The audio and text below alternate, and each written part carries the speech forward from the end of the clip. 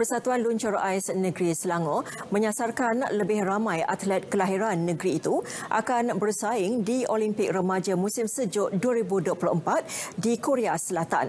Jelas Presidennya Fazil Johan, persatuan telah merangka blueprint meliputi pembangunan atlet muda termasuk kerjasama dengan negara luar.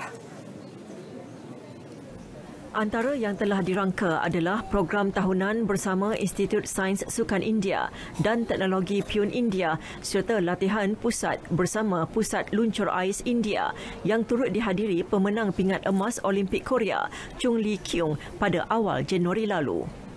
Uh, the next Youth Winter Olympic adalah di Korea Selatan yang mana ini akan menjadi kita punya benchmark lah untuk atlet-atlet muda kita.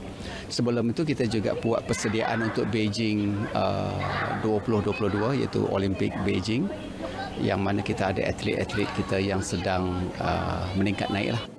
Tambahnya, persatuan turut mendapat kerjasama dari Majlis Sukan Negeri Selangor menerusi pemberian dana dalam misi menjadikan Selangor sebagai pengeluar atlet luncur ais kebangsaan.